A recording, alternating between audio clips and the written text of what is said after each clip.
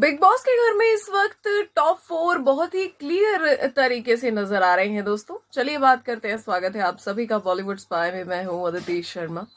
तो इस वक्त हम देख रहे हैं कि मुनव्वर, अंकिता अभिषेक और ईशा। ऐसा लगता है कि टॉप फोर में तो ये लोग नज़र आने ही वाले हैं। लेकिन फिफ्थ पोजीशन पे कौन रहने वाला है दोस्तों? यहाँ पे जो टक्कर का मुकाबला एक दूसरे को देंगे, वो है विकी और मनारा। अब देखा जाए तो दोनों का योगदान बहुत ज़्यादा रहा है शो में। और ये भी देखना इंटरेस्टिंग रहेगा कि बिग बॉस भाई कौन से कंटेस्टेंट को मतलब चाहते हैं लाना फिफ्थ पोजीशन तक।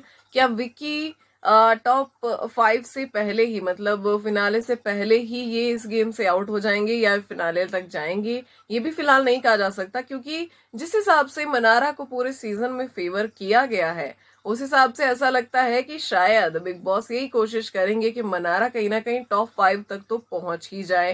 क्योंकि दोस्तों विनर की रेस में तो ये दोनों ही नहीं है, ना ही विक्की है, ना ही मनारा है। तो यहाँ पे फ़िलहाल टॉप फाइव के लिए मतलब पांचवी पोजीशन के लिए दोनों के बीच में टक्कर है। आप सभी को क्या है कहना कमेंट्स में बताइए ज़रूर। मिलते हैं नेक्स्ट वीडियो में।